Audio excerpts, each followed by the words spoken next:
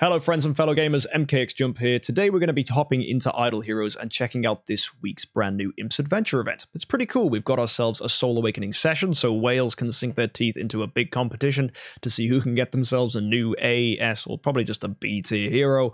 And on top of that, guys, we do have some pretty cool packages, some extra bonus rewards for free to play players. I'll give you some advice for how free to play players should approach this week. And as well, we've got something new on the horizon, so we'll take a look at what I think that might be. Although, honestly, I'm not too sure. Either way, let's jump in and take a look at this stuff. But before we do, let me tell you about Patreon, a way that you can support my channel financially and get a few small rewards in return for yourself.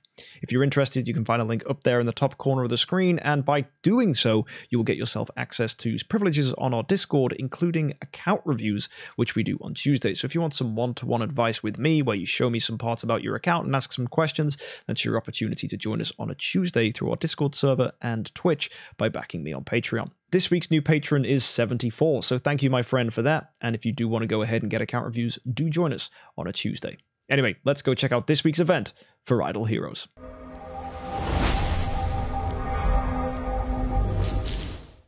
So this week's campaign loot drop currency is a blue hat jellyfish, which is pretty cute. I like what they've done with him. Even though jellyfish don't typically have eyeballs like this, it's kind of cool to see him with them. Very nice. We also get four dice, which can be used in Imps Adventure. You have to use them this week, and if you do not use a dice, you will get two points at the end of the event in Imps Adventure, which can actually be quite useful for making progress. And it's good when you need to gamble, like maybe you need to roll a five or a six and you only need two more stars. Saving a dice can be pretty smart. Also, Force War is returning, so make sure you go ahead and sign up with your guildies, or just sign up in general, whatever works best for you, but go ahead and sign up, my guys. It's a good thing to do. Anyway, We've got ourselves an event here. It's the Soul Awakening session. Of course, the big competition between all the whales. The ranking phase ends at the end of this week. Do not be confused by the timer there. That's just going to be for the leaderboard at the end. Currently, there's no rankings, which means no one has actually done anything here when it comes to Awakens. And the competition will begin with people chasing to get SS, S, A plus stones, and the people at the top of the list will, of course, get the best rewards, although it's only the top 20 that will get themselves an A minus or higher.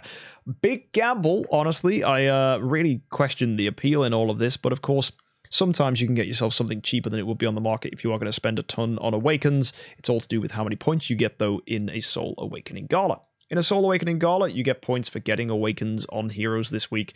More points are given the higher the Awakening grade you obtain. If you make your way all the way up to 20, you'll get a little chest here, and just getting 20 in general will get you another one of those chests as well. For 40, you get this one, which contains some of the newer Transcendence heroes, and this chest here for 70 is going to get you everyone except for Ailamak.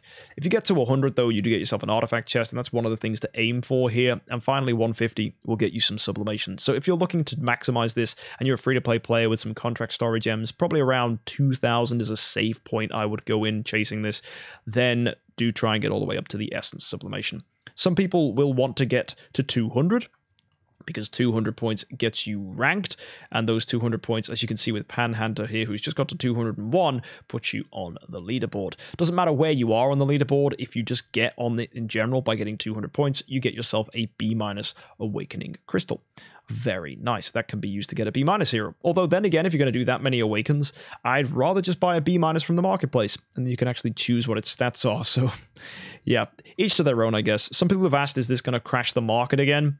I don't expect it will because there's no fancy free to play thing like we saw last time, although it may reduce the price of a few heroes, and you will see Vessels drop this week because it's the end of Star Expedition, so there will be people trying to sell her after they've used her in the Star Expedition, which is quite common that people do that. Still, whilst her price is quite high right now, so yeah, pretty interesting for those of you interested in some auction house stuff.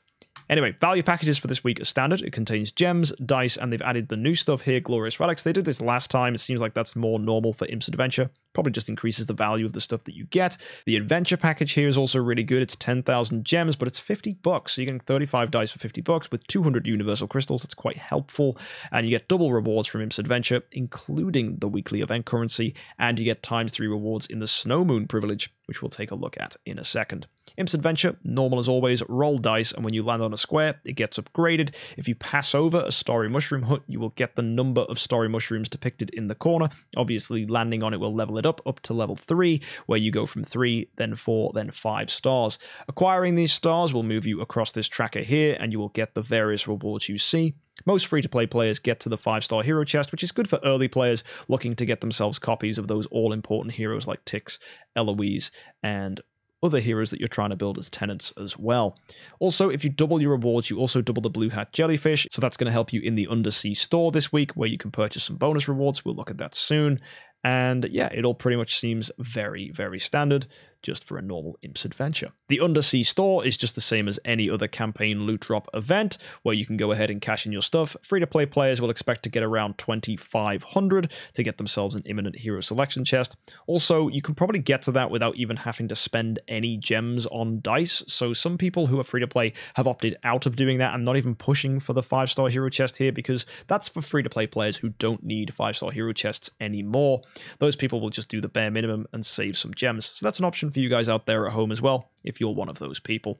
If you do go and push Imps Adventure, though, and get some decent stuff to take yourself higher, I would recommend using Universal Crystals to pick up Star Spawn cores, because the bonus to get them is only a small amount. You might need maybe 300 Universal Crystals, and you'll get yourself a Star Spawn Core 6 or Star Spawn Core 5 to improve your Star Spawns. If you plan on spending money by buying that package, you can probably push yourself to a Glorious Flag or an Artifact chest if that's what you wanted, but for free-to-play players, I wouldn't recommend pushing that high, as that's going to be quite heavy on your Universal Crystals, and I think it's better value as a free-to-play player to use them to obtain Star Spawn materials. If you don't plan on using Universal Crystals, though, you can just get the Imminent Hero Selection Chest, or even just go for Scrolls, or Prophet Orbs, or whatever takes your fancy. Maybe even some skin shards to make more legendary skins on your account.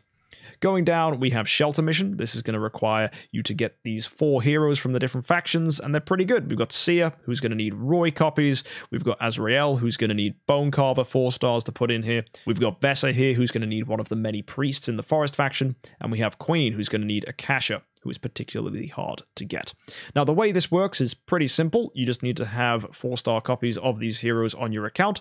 So we'll do the Akasha one here, for example. So I'm going to get four Akashas on here, and those four Akashas can go onto this queen.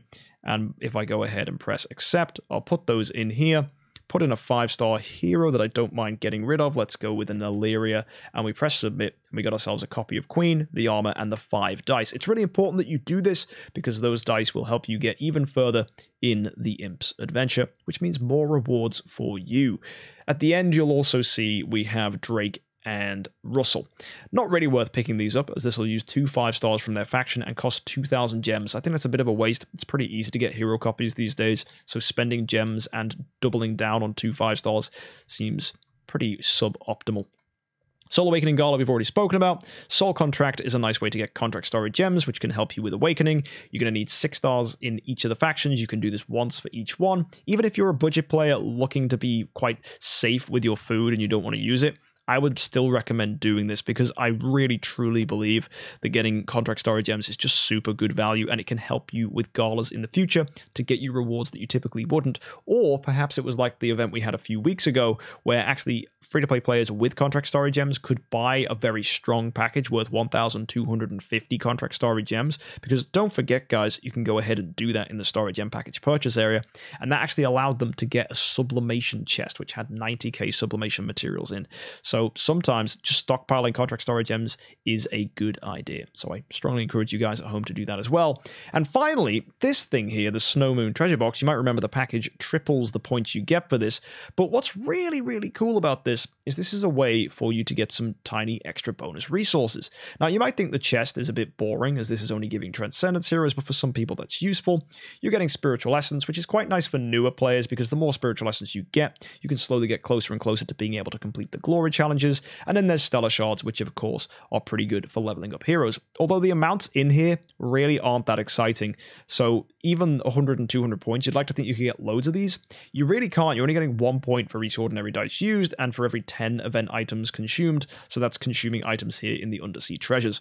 If you didn't buy the bonus package, and you were just going into this as a free to play player, you're only realistically going to get to just over 300 points, which means you're going to get each of these ones once and this first one three times. And that's it. 300 points. Now, this last one is an interesting one. It contains a chest that contains Vulcan, Elena, or Ailamak, but it actually doesn't contain any of those previously pictured rewards.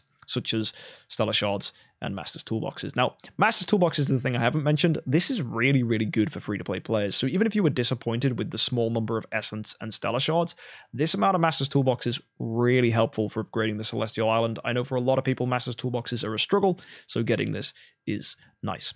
Obviously, if you triple the points you get, you're going to get way more stuff from here, so spenders might enjoy a nice boost in Stellar Shards. And of course, those Hero Chest copies will be very, very useful if you're engaging with the Soul Awakening Gala and looking for copies to awaken. That's all it for this week. Nothing too outstanding for an Imps Adventure event, but I do like the addition of the Soul Awakening Gala and the Soul Awakening session, and the Snow Moon treasure box is a nice touch, even though the rewards are a little small. Master Toolboxes are a big help. Event preview for next week, we have Fantasy Factory, Prophet Orbs, and a Heroic Miracle event. Heroic Miracle is giving Mockmen as a reward. Prophet Orbs are getting you Freya and Queen as a prize. And then there's this thing here called the Mecha Raid. It says, Come save the planet from great dangers in your golden mecha. Strengthen it up, protect the world, and challenge powerful enemies to get rich rewards. Now, we don't know if this is going to become a brand new event that we'll see more often. Maybe it's just unique to next week, but it is something we have never, ever seen before, and is likely going to give some top rewards such as artifacts, sublimation. It might even give tickets for the brand new treasure train because we haven't seen DH Games implement the treasure train yet as a reward system, but it would be really smart if they do. So I'm very curious to see what the Mecha Raid brings, but I can't really tell you much else because we really don't know until the event drops next week. So if you want to know what next week's event is all about and get some early tips and advice for when it goes live, go ahead and hit that subscribe button to make sure you catch next week's event review video. But until then, guys, I'll have to leave you with this event here, the Imps Adventure. Thanks for tuning in, hit that subscribe button, let me know what you think about this event in the comments section down below, and why not guess as to what you think the Mecha Raid might be. See you next time, folks. Happy idling.